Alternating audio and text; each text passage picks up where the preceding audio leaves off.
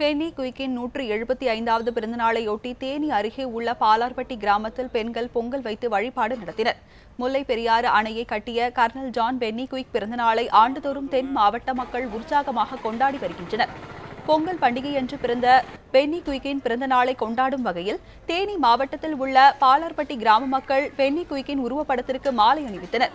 பொங்கல் பானையுடன் ஊர்வலமாக சென்ற பெண்கள் பென்னி குயிக்கின் கலை அரங்கத்தின் முன் கரும்புடன் பொங்கல் வைத்து வழிபட்டனர்.